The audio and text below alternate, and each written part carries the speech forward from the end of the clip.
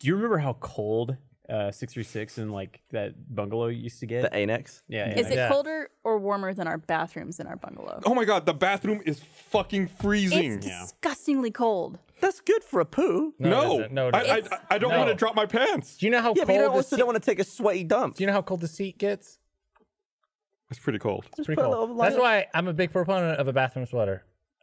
For your Go legs? Stop pushing bathroom sweater. The- he- we talked about it on inbox this Are, week. are you talking about a bathroom sweater for the seat?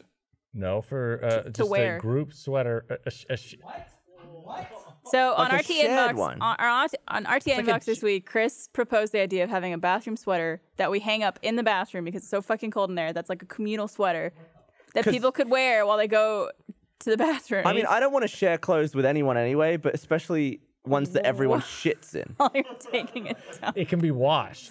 It can be- no one's gonna Who's wash, gonna the, wash the it? shit sweater. Who's gonna go and what? You gonna wash that now? You gonna wash it once a week. No one's gonna do that. Why not?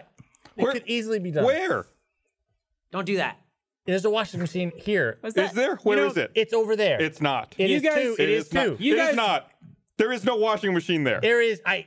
In I the swear There- to there's a washing there's machine a over washing machine in the There's a corner. washing I thought it was removed. No, they, they put it back it's there. From, no, they moved it from there to there. it was mailroom. Now it's back by the sink back there. There's there. a washing machine. Okay.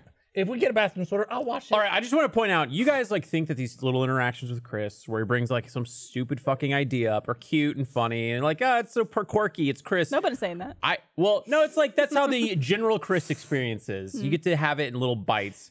I have to be around this constantly because I keep collaborating with him. You don't have and to. You is- could quit.